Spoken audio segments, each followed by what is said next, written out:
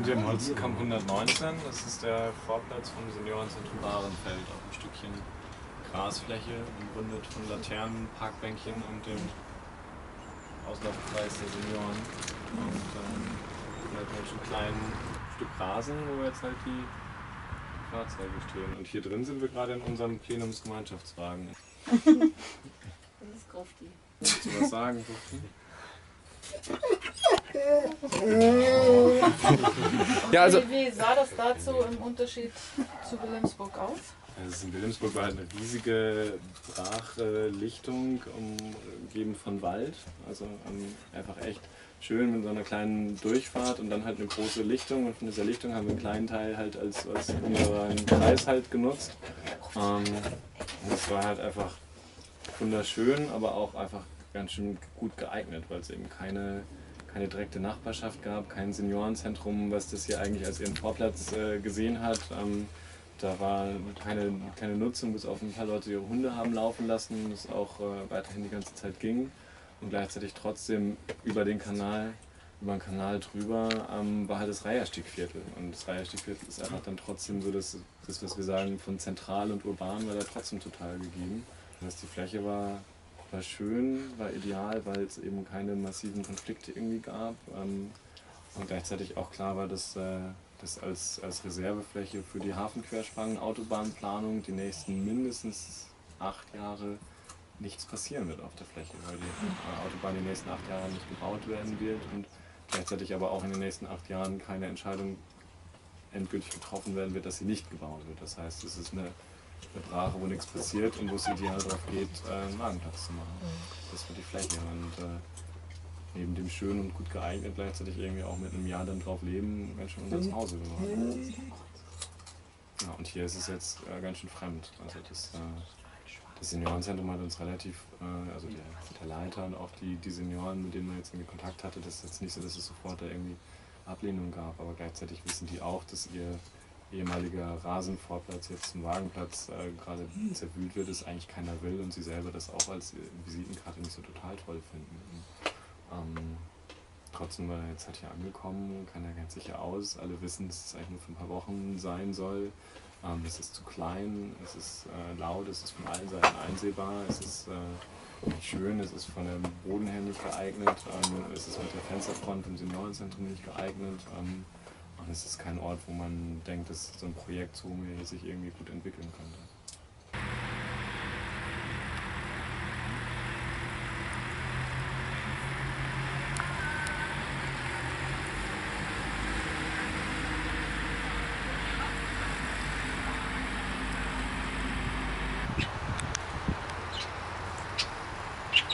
Ja, wir hatten am letzten Donnerstag so ein, so ein Kennenlernen, wo eben ähm, der Leiter von der, von der Einrichtung die, seine Angestellten und die Senioren eingeladen hat, uns kennenzulernen. Und da, und da hat er uns angeboten, grundsätzlich in Form von auf gute Nachbarschaft das Parkcafé als Räumlichkeit mitzunutzen, wenn wir mal eine Veranstaltung hätten oder so.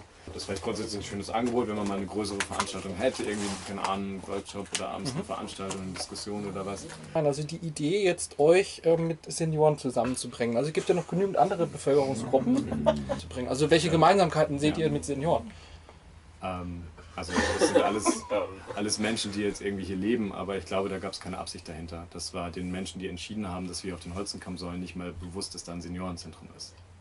Ja, aber das wussten die doch schon. Also Nein, die Politik weiß doch schon, dass hier, dass hier ein Seniorenzentrum steht. Das wissen sie Vielleicht, schon. also sie haben auf Google geguckt, äh, wussten, dass sie irgendwie die Holzenpunks mal hingeschoben worden sind und ähm, ich glaube, es war ähm, auf der Ebene, wo darüber verhandelt wurde, wozu mir jetzt irgendwie erstmal hingepackt wird, damit sie aus Mitte wegkommen, war es völlig egal, was in der Nachbarschaft war. Dass hier eigentlich, eigentlich sozialer Wohnungsbau geplant ist, dass das Gelände Fördern und Wohnen gehört und so weiter, das ist alles erst äh, aufgetaucht, ähm, als sie uns das schon fett angeboten hatten. Als wir an einem Freitag da bei denen saßen, wo uns dieses Gelände als das Sahnestückchen Altonas präsentiert worden ist, ähm, wir danach hier hingefahren sind, waren ähm, die Fraktionspolitiker, also SPD-Fraktion, noch nie vor Ort gewesen. Die waren noch nicht vor Ort gewesen, bevor sie das hier uns angeboten hatten. Die wussten nichts über die Fensterfront, die wussten nichts über die Baustelle, die wussten nichts über den Spazierweg, die wussten nichts über die Größe. Und äh, das war mehr ein Zeichen, wie massiv der Druck gewesen sein muss und die Ansage, ähm, Zomia in Altona willkommen zu heißen, ohne irgendwo zu wissen, wohin und dann aus was für einem Gedankenblitz auch immer den Holstenkamp ins Spiel zu bringen und das erstmal zu sagen, ohne sich damit auseinanderzusetzen, ob das geht. Und nachdem es gesagt war, nachdem es in der Presse stand, ähm, SPD macht ja keine Fehler und korrigiert sich auch nicht, muss das natürlich beibehalten werden. Und als sie dann vor Ort standen und ein betretenes Schweigen da war und alle meinten, das eigentlich geht es gar nicht, äh, wurde es halt ganz schnell zum Übergangs, zu der idealen Übergangsfläche deklariert.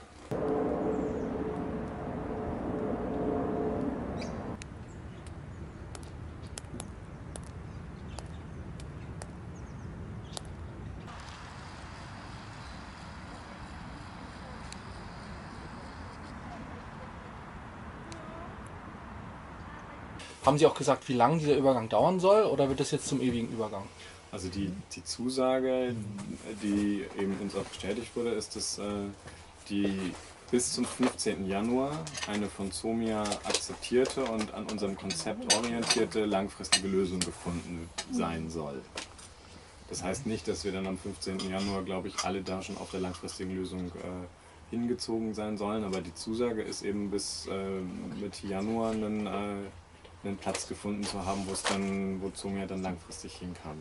Ob das realistisch ist und ob man sich auf irgendwelche Zusagen von sozialdemokratischer Politik verlassen kann, ähm, ist eine andere Frage. Aber ähm, so ist erstmal die, die Idee. Und gerade ist schon auch so, dass der Bezirk Altona zumindest vorgibt, aktiv dabei zu sein, zu suchen. Sucht er denn für sich oder sucht er mit euch? Also ihr hattet ja auch Flächen Mhm. vorgeschlagen, wenn ich das recht Ja. erinnere. Ähm, also wenn man wir haben dass wir uns wöchentlich treffen und äh, da werden dann Vorschläge ausgetauscht, aber ähm, ähm, es ist für uns noch nicht ähm, absehbar gerade, wie ernst die Vorschläge, die wir auch machen, dann wirklich ernst genommen und wohlwollend geprüft werden oder ob äh, immer ein Grund gesucht wird, warum das dann gerade nicht geht und warum am Ende nur die, die bezirklichen Vorschläge überbleiben.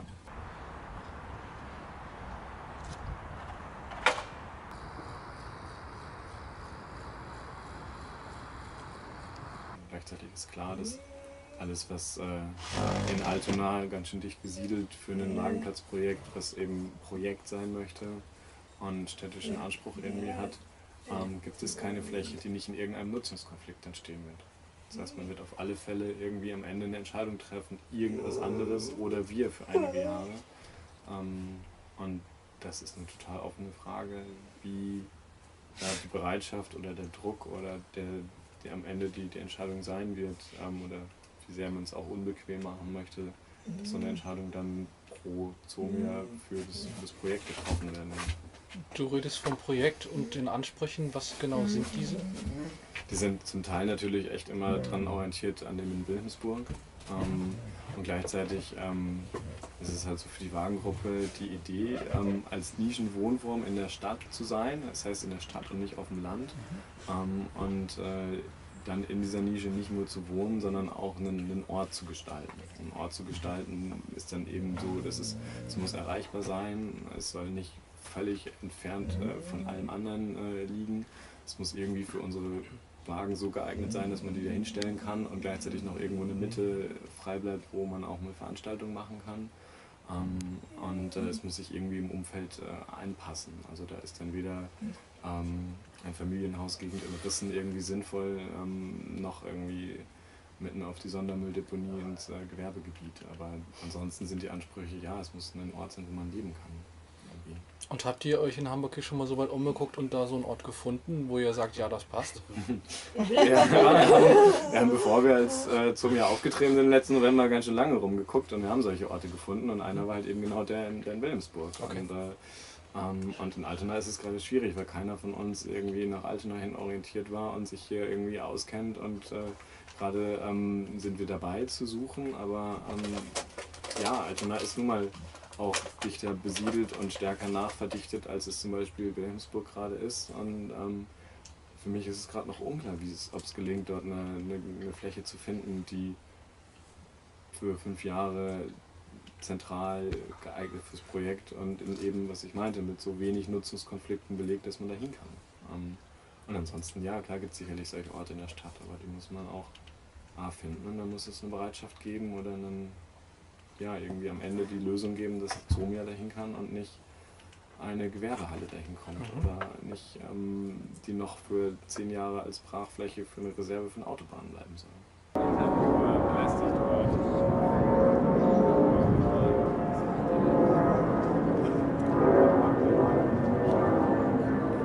Genau, was machst du denn? Mann, Mann, Mann, du. Das an der falschen Stelle in die Presse, du, dann. Dann geht's ab. Dann. Karton drin. Aber es wird schon weniger. Ja, das ist schon weniger, das geht. Ich sage mal ein bisschen ketzerisch, alles was südlich der Elbe stattfindet, findet für den Hamburger nicht statt.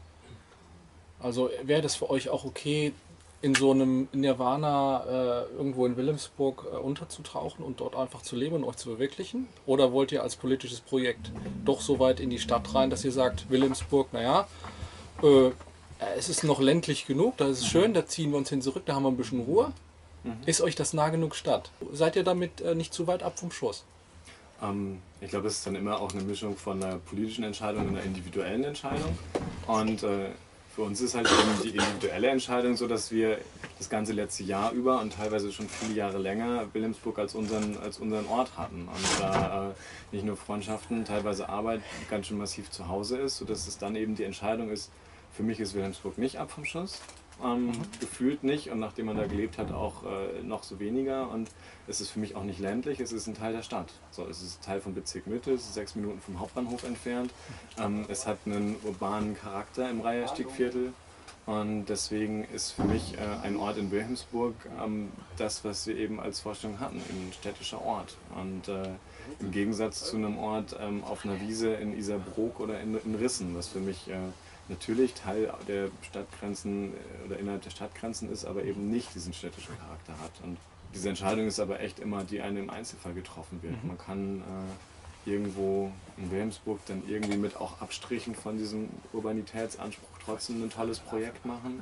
Und man kann irgendwo in Altona stehen äh, und denken, okay, es ist zwar Altona, aber es ist ein Ort, wo, es, wo, wo überhaupt nicht dieser Charakter irgendwie verwirklichbar ist. Ich denke mir halt, dass die Politik euch natürlich versucht, aus Wilhelmsburg zu verdrängen, weil das eben nun mal äh, Entwicklungsgebiet ist und sie würden da lieber ähm, äh, schicke Luxuswohnungen wahrscheinlich ansiedeln oder Industrie oder sonst was, Mhm. eben auch auf den Brachflächen, wo ihr da eben wart.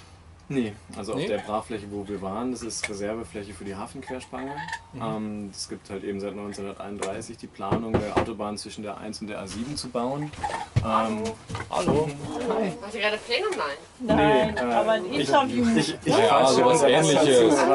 Vielleicht, Das ist aber nicht so, das ist nicht so eng zu sehen. Komm rein. vielleicht, vielleicht, vielleicht ziehen wir mal um. Äh, Die äh, sich immer am Wochenende treffende Hundegruppe.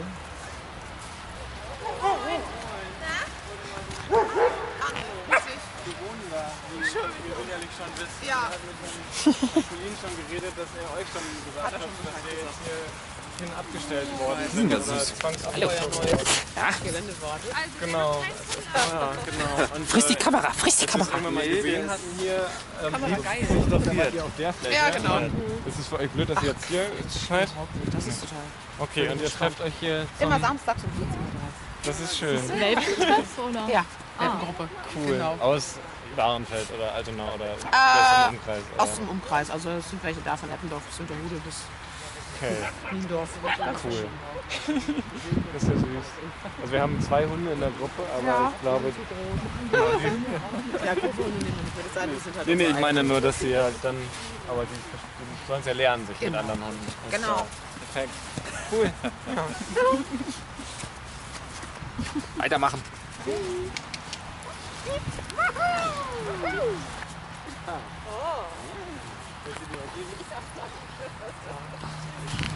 Der Hund findet das total spannend hier. Ja. Also die Tiere nähern sich scheinbar schneller an als die Menschen, habe ich den Eindruck. Ja, also ich meine, die Menschen, die hier sind, das sind halt überwiegend wirklich die, die Einwohner vom Seniorenzentrum. Da gibt es eine ganz große ähm, Demenzstation, da sind 150 ähm, ähm, Bewohnerinnen, aber von denen sind die allerwenigsten so, dass sie jetzt hier ähm, viel selbstständig unterwegs sind. Und äh, der erste Kontakt mit, dem, mit der Leitung war super entspannt. Und dann gibt es da direkt dahinter noch das Wohnprojekt mit den Holstenpunks.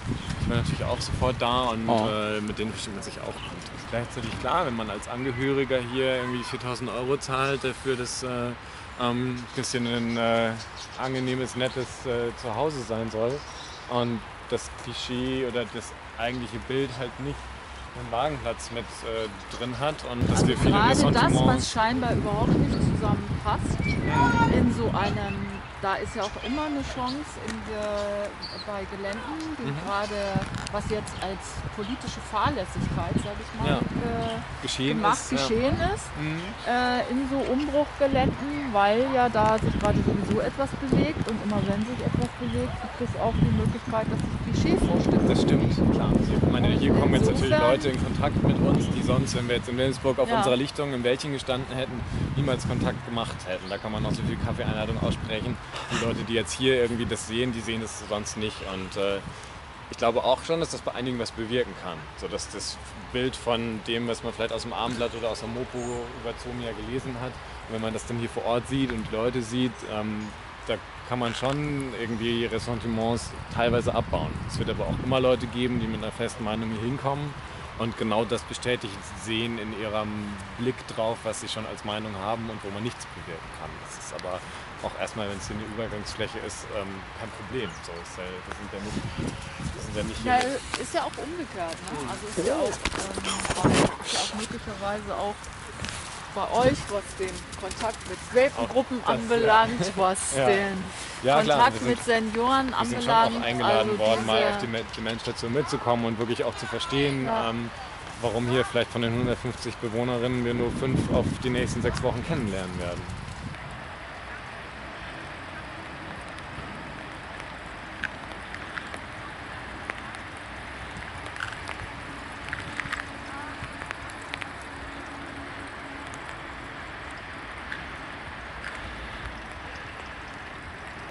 Wilhelmsburg, da gibt es halt seit 1931 eine Autobahnplanung.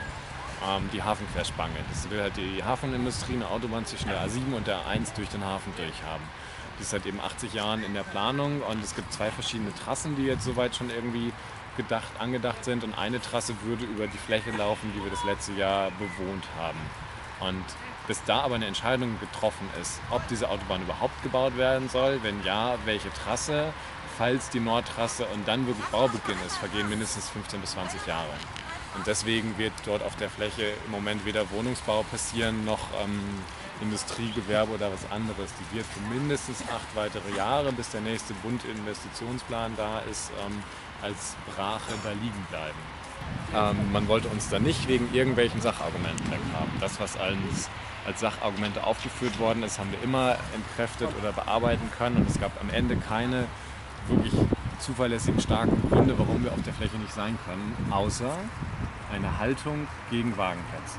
So, Im ersten Treffen mit Herrn Schreiber war die Ansage ganz deutlich. Ich unterstütze eure Wohnform nicht, ich toleriere sie nicht, ich akzeptiere sie nicht und ich werde alles tun, sie zu enttäuschen.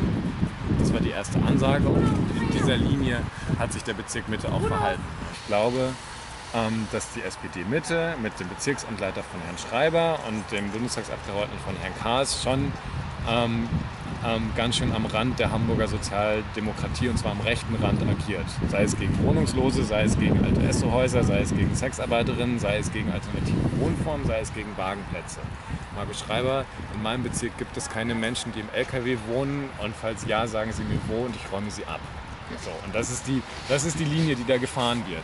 Bambule ist geräumt. Äh, Herr Schreiber sagt leider nicht in die Presse, ähm, er wird nie wieder einen Wagenplatz in seinem Bezirk akzeptieren. Und da braucht es dann keine Sachargumente mehr, wenn es eine Haltung gegen so etwas gibt. Und diese Haltung ist das ganze letzte Jahr über von ihm vertreten worden mit dem Problem, dass der restliche SPD-Verband, also sowohl der Senat als auch andere ähm, Bezirksbereiche, dann nicht mitgezogen haben. Und äh, das war für uns schon noch bis zuletzt der Eindruck, dass äh, es unklar ist, ob der SPD-Mitte mit Herrn Schreiber und dem Ganzen drumherum ein bisschen isoliert ist oder da so ein bisschen ähm, vielleicht eine andere Stimmung in der Gesamtsozialdemokratie in Hamburg ist. Bis halt eben vor zwei Wochen dann die nach einem Jahr lang Stillschweigen die Senatsansage kam. Ähm, glauben Sie nicht, dass Sie einen Keil zwischen uns treiben können. Sie haben sich unverzüglich am Holzenkamp äh, einzufinden. Ansonsten werden sofort äh, Verwaltungsvollstreckungsmaßnahmen gegen Sie auf Ihrer Fläche in Wilhelmsburg, also Räumung, ähm, unterstützt und durchgeführt werden. Und die Innenbehörde mit ihren Polizei wird das unterstützen. Und da war sie dann halt da. Die Ansage, ähm, Markus Schreiber wird der Rücken gestärkt, der Linie von rechter SPD, Sozialdemokratie äh, wird äh, der Rücken gestärkt. Ähm, eine Räumung wäre hingenommen worden, inklusive all dem Protest und sowas äh, erzeugt hätte, um eben diesem die SPD hat Angst, äh, zu sehr sozialdemokratisch äh, alternativ gesehen zu werden und fischt äh, im Schildschen Gebiet, damit sie die nächste Wahl nicht wegen verkorkster Innenpolitik und Sicherheitswahn verliert, sondern eben da ihren Hardliner hat, den sie auch gut installiert, jetzt sich weiter aufrechterhält. Altona als bei uns ist das äh, Tor offen im Wappen und wir sind der tolerante Stadtteil und wir SPD in Altona sind auch dafür bekannt, äh, ähm, nicht Seeheimer Kreis zu sein, sondern ähm, offener zu sein. Wir haben schon Wagenplätze, wir haben da gute Erfahrungen mit. Das heißt, da waren die Rollenverteilungen Good Cop, Bad Cop soweit dann klar und ähm, dann ist es dazu gekommen, dass Altona uns ein herzliches Willkommen hat aussprechen müssen und jetzt sich gerade zeigt, ob das aus dem Herzen kam oder aus Machtpolitik. Und äh, das ist offen ist.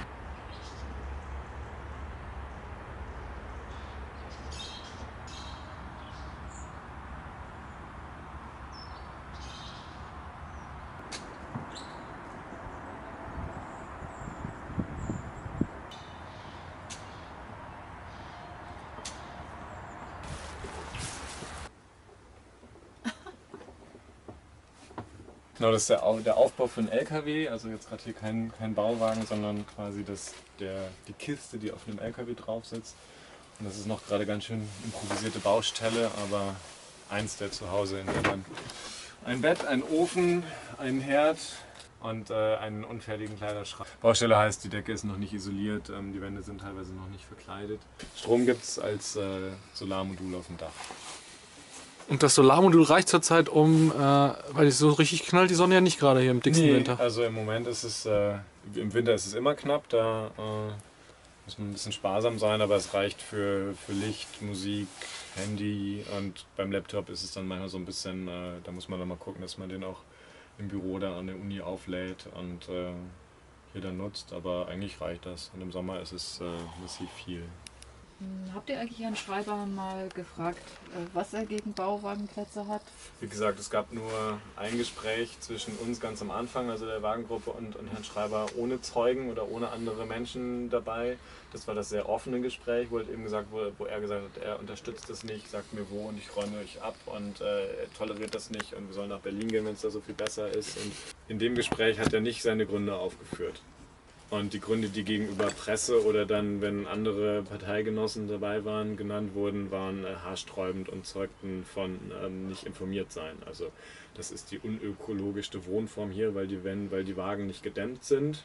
Also die Dämmung ist da in der Wand. Ähm, warum werden Wohnungslose unter einer Brücke vertrieben? Warum werden Sexarbeiterinnen aus einem äh, Stadtteil vertrieben und ins Industriegebiet verfrachtet? Warum sollen Wagenplätze nicht in der Stadt leben können? Ich glaube, da spiegelt sich eine Vorstellung von Stadt wieder, die da umgesetzt wird, die ganz schön von oben herab ökonomisch verwertbar, dem allgemeinen Durchschnitt noch übererfüllend und bloß nicht irgendwie mit Ecken und Kanten und irgendeiner, ähm, irgendeinem Hauch von vielleicht ein bisschen unkontrollierbar, vielleicht ein bisschen nicht so, dass äh, die mächtige Bezirksverwaltung alles total im Griff und genormt in Kontrolle hat. Und äh, da ist natürlich ein Wagenplatz in der Mischung von ähm, politisch linken Strukturen, mobilen, ähm, vielleicht, ne, dann kommt man schnell in irgendwelche Urangsttheorien rein von die mobilen, nicht greifbaren, irgendwie anders lebenden Menschen, die man nicht kennt und wo immer das, das andere die Angst erzeugt. Und äh, gerade dann, wenn sowas wie das, die Wohnform, das, das urtümlich eigentliche Zuhause dann irgendwie was ist, was irgendwie fremd ist, äh, dann äh, ist da vielleicht immer schnell ein Abwehrreflex da.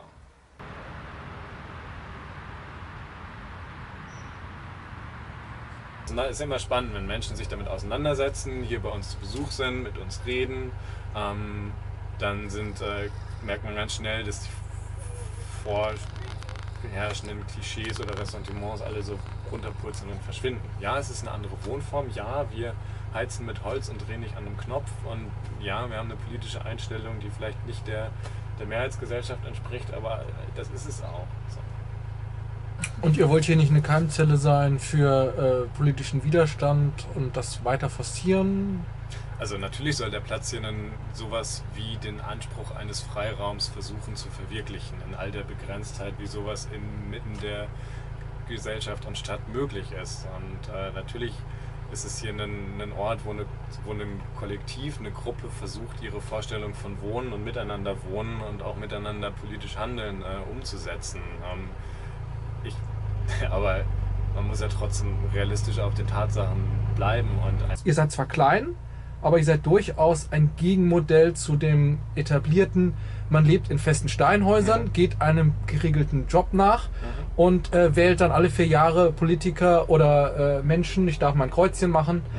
Also ihr seid, ihr seid ein, einfach ein Gegenmodell des Lebens und Ja. von daher äh, würde ich mal die Subversivität, die ihr hier an den Tag legt und lebt, mal nicht, so zu klein. kochen. Okay. Eben. Äh, ja, ähm,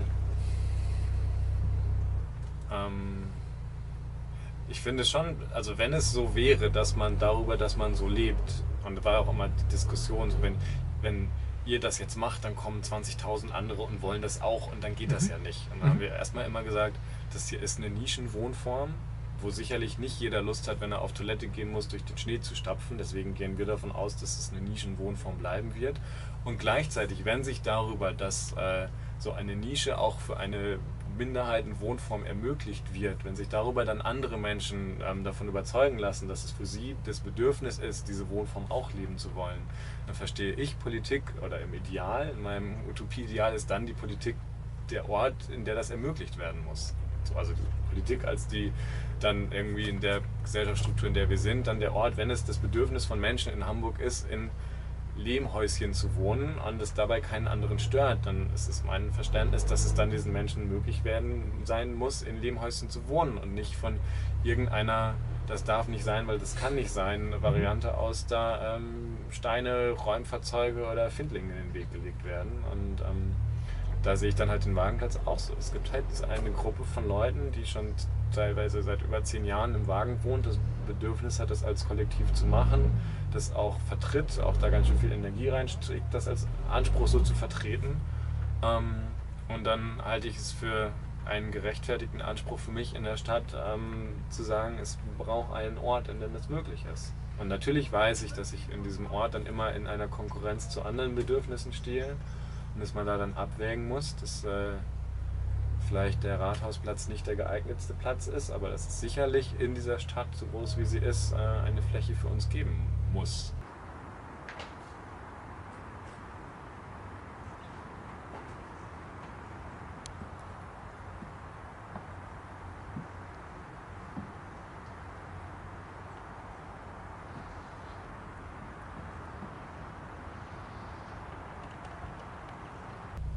Die Subversivität, vielleicht muss ich da nochmal drüber nachdenken, aber ähm, ich halte die Vorstellung, dass über quasi subversive Lebensentwürfe vorleben ein so großer Impuls in die Mehrheitsgesellschaft reingeht, dass darüber die herrschende Politik wirklich Angst haben müsste oder Sorgen haben müsste, dass sich massiv was ändert, ähm, für nicht so gerechtfertigt, wenn ich mir Aha. angucke, was so das. Äh, also ich finde es einen spannenden Gedanken oder einen guten, oder ich finde es auch einen gerechtfertigten Ansatz, das so zu, zu vertreten und zu machen.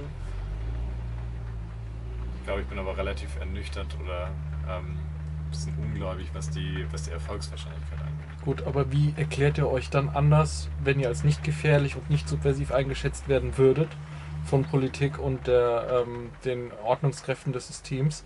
Wie erklärt ihr euch dann diese massive Gegenwehr des Systems?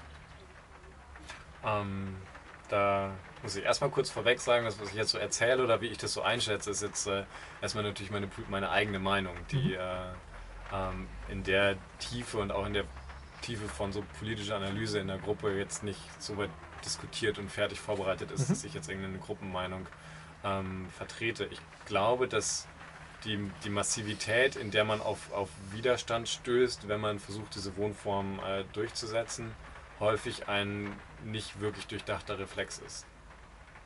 So ein Reflex von, ein Haus wird besetzt, okay, innerhalb von 24 Stunden wird es geräumt.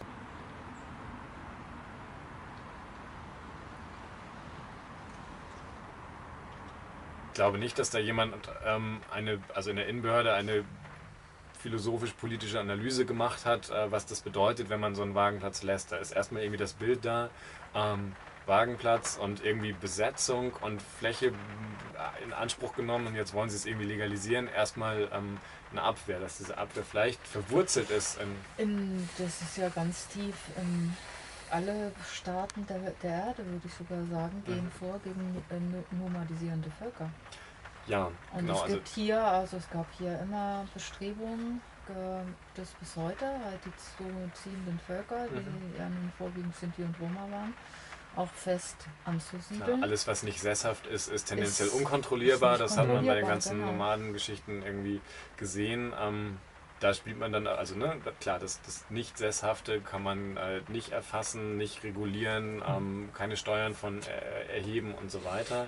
Ähm, dass da vielleicht eine, eine Urangst von, von Mächtigen ist, dass sowas nicht geht und dass sowas möglichst irgendwie sesshaft gemacht werden muss.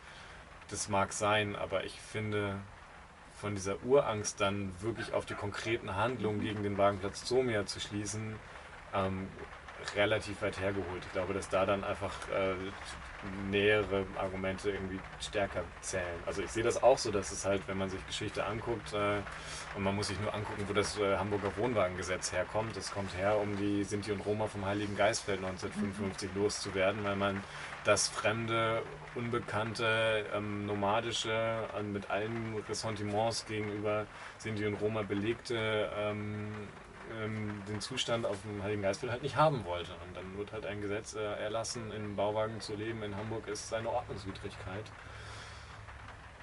Ja, und ich denke schon, dass ich nochmal drüber nachdenken muss, inwieweit ich denn glaube, dass so die, diese ganzen Psychologie-Elemente oder diese Urangst-Elemente von fremd und unbekannt und nicht sesshaft und nicht kontrollierbar ähm, irgendwie wirklich heranzuziehen sind als Argument, warum äh, Zomia in Hamburg oder im Bezirk Mitte ähm, auf der Fläche in Wilhelmsburg nicht stehen bleiben konnte. Ich glaube, dass da echt schlichtere Punkte irgendwie stärker im Vordergrund. Vielleicht wäre ja so ein schlichter Punkt einfach mal Geld. Also wir reden ja auch immer gern und viel über Geld, zurzeit Mhm. Finanzkrise und so weiter. Vielleicht würde ja auch gegen euch ins Felde geführt, naja, der Normalbürger lebt halt in normalen Häusern, bezahlt relativ hohe Mietpreise und Mhm. hohe Heizungskosten und so weiter. Der hat einfach gewisse Grundkosten, die kommen dem kapitalistischen Verwertungssystem zugute. Ja. Ihr passt nicht in das kapitalistische Wertesystem, Mhm. Grenzt euch bewusst davon ab, macht einen Gegenentwurf. Wie viel Miete- wollt ihr denn im Monat äh, für so einen Bauwagen zahlen? Du hast davon gesprochen, ihr würdet auch bereit sein, Pacht zu Mhm, zahlen. mhm. Aber das wird ja wahrscheinlich. Es wird weniger sein, also das stimmt, dass eben dieser Punkt von, die wollen ja einfach was umsonst und das geht ja nicht, weil ich muss ja auch für meine Miete zahlen, so diese Mhm. populistischen Kommentare in der Mopo immer wieder kamen Mhm. und auch teilweise dann ähm, genutzt worden sind vom Pressesprecher von Mitte, der sagte, die zahlen ja noch nicht mal was. Mhm. Und wir haben natürlich auch gesagt, ja, wir ähm, in dem Zwang, die hiesige äh, Gesellschaft und Eigentumsordnung auch anzuerkennen, ähm, sind wir auch bereit, für die Fläche irgendeine, ähm, irgendeine Pachtentgelt, Nutzungsentgelt, Gebühr zu bezahlen. Ähm, aber das stimmt, dass das äh, dann, weil jeder hier auch seinen Wagen selber hat und erhalten muss und renoviert, wäre das halt ein Nutzungsentgelt, ähm, was vielleicht nicht der durchschnittlichen Mietpreis äh, von einer großen Wohnung in Hamburg entsprechen würde. Und Mhm. da kommt man natürlich dazu, dass äh, damit ein Wagenplatz nicht ökonomisch verwertbar ist. Weder als, als hippes, tolles äh, ähm, Hausboot für 500.000 Euro Projekt, noch in irgendeiner anderen Form sind Wagenplätze ähm, ähm, dafür bekannt, jetzt sich super toll in eine ökonomisch optimierte, verwertbare kapitalistische Stadt einpassen zu lassen. Ähm, Er beansprucht allerdings trotzdem Fläche und Platz. Ich könnte da einen Büroturm hinstellen, wo Investoren dann wieder einfach Mhm. mal ihr Geld loswerden. mhm.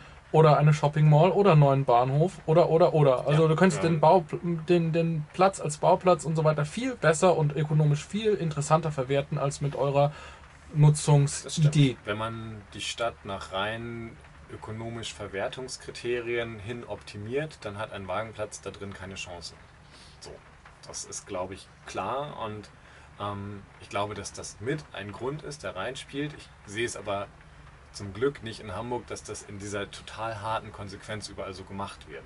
Klar, die, die Bestrebungen und die Tendenzen in diese Richtung sind, sind verständlich und jedes Projekt, was nicht diesem ökonomischen Verwertungsgedanken äh, irgendwie entspricht, hat es massiv viel schwerer. Aber im Moment in Hamburg hat es es nicht unmöglich. So, es gibt Wagenplätze in der Stadt, die sind alle nicht in einem Verwertungsinteresse so perfekt optimiert, aber es gibt zigtausend Orte in der Stadt, wo man das auch so sehen würde. Dass es für solche Projekte massiv viel schwieriger ist, gerade als neue Gruppe einen Fuß auf den Boden zu bekommen, ist schon so. Klar, wenn wir jetzt alle hippe Hausboote für eine Viertelmillion hätten und sagen, wir sind eine ähm, intelligente Akademiker-Ingenieursgruppe, die gerne jedes Musterprojekt sonst wie machen möchte ähm, und damit auf Herrn Schreiber zugekommen sind und mit einem äh, super toll ausgearbeiteten Konzept von einer Marketingfirma, dann wäre sicherlich das, äh, das Zugehen auf uns, äh, gesagt hätte, man möchte gerne noch IBA Modellprojekt werden, internationale Bauausstellung, dann ähm, wäre es sicherlich ein, ein andere Erfolgsaussichten gewesen, aber dann wäre es überhaupt nicht das Projekt Sumia gewesen. Das sind wir nicht, das wollen wir nicht sein und äh, nur weil das so besser funktioniert, ist das kein Grund, es dann so zu machen. Wäre vielleicht mal ein interessantes Experiment, einfach mal so in die Tüte gesprochen. Wir finden einen Mäzen, Mhm. der das hier gut findet, was Somia macht. Mhm. Der macht, sagen wir mal, ein, zwei Millionen locker als Miete und Pacht. Das heißt, ihr zahlt einfach definitiv monster viel mehr Pacht pro Jahr, als alle anderen Investoren das könnten. Und dann zu gucken, wie die Politik und der Bezirk dann reagiert. Das wäre doch mal ein interessantes Experiment. Könntet ihr euch sowas vorstellen? Wollen wir einen Mäzen finden?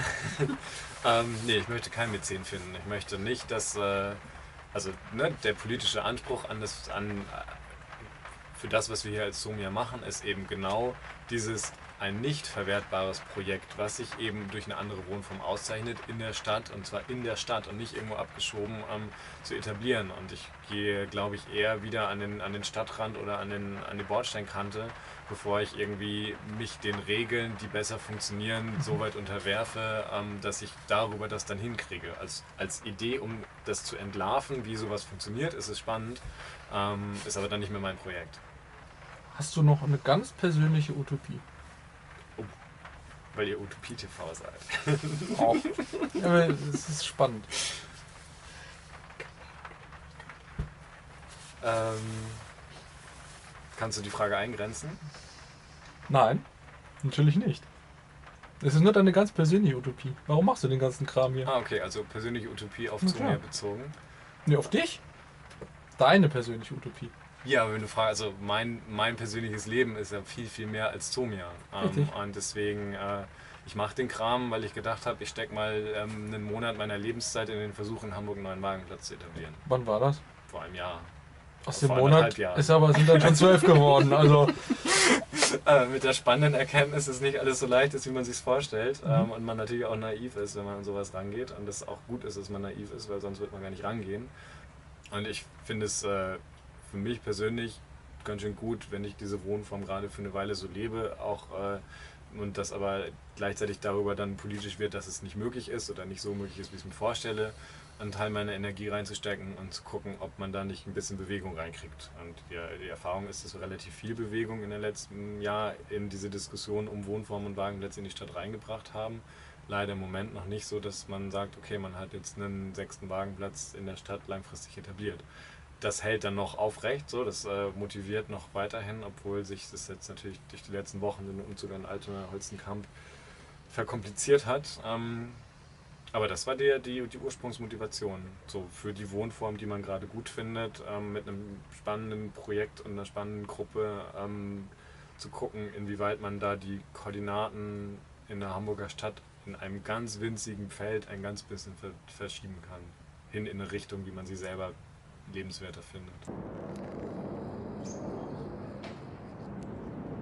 Also es war völlig unklar, die ähm, Erfolgsaussichten waren äh, in der Einschätzung nicht so riesig und gleichzeitig hatte sich keiner vorgestellt, ähm, dass man ein Jahr lang enorm viel Energie da reinsteckt, um dann mit einem Räumungsbescheid dazustehen. Ähm, gleichzeitig ist es aber auch eine spannende Erfahrung und äh, die spannende Erfahrung ist so weit spannend, dass sie auch alle noch weiter motiviert, ähm, mehr mitzumachen und weiterzumachen und zu gucken, inwieweit das jetzt weitergeht mit dem, dem Versuch, einen sechsten Wagenplatz in Hamburg zu etablieren und dann äh, andere Leute zu motivieren, einen siebten Versuch zu starten.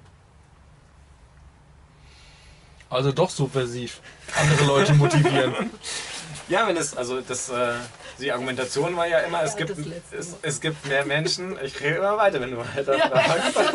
Ja, das ist ja auch, äh, du musst ja auch das letzte Wort haben. Es gibt, ne, die Argumentation ist, und das ist auch richtig, es gibt mehr Menschen, die im Wagen wohnen äh, wollen, als es äh, Wagenplätze in der Stadt gibt. Und äh, diesen, und in den 90ern gab es zwölf Wagenplätze. Ähm, nach Schill gab es noch fünf. Seit einem Jahr gibt es wieder sechs. Und äh, ähm, ich fände es spannend, wenn es auch einen siebten gäbe. Ähm, solange man den Eindruck hat, es stehen überall LKWs an der Straße und Bauwagen im Hinterhof und der Wunsch der Leute ist es eigentlich als Kollektiv und Gruppe mehr als nur irgendwo im Hintergrund, zu, Hintergrund Hinterhof zu stehen, sondern als, als Kollektiv und Gruppe und Ort einen, einen Wagenplatz in der Stadt zu machen.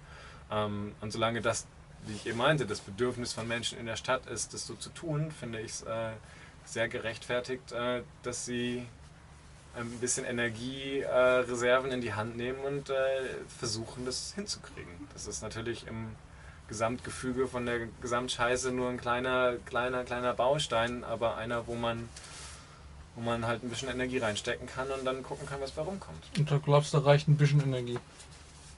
Es kommt immer auf die Verhältnismäßigkeit an, was für ein bisschen und was ein bisschen viel ist. Ähm, so mehr Erfahrung ist, dass man ganz schön viel Energie und ganz schön äh, langen Atem und eine ganz schön ähm, stabile Gruppe braucht, um äh, das zu machen. Aber auch wenn es scheitert, sammelt man Erfahrung, wie äh, Stadtpolitik und wie Macht und wie, ähm, wie Herrschaft funktioniert.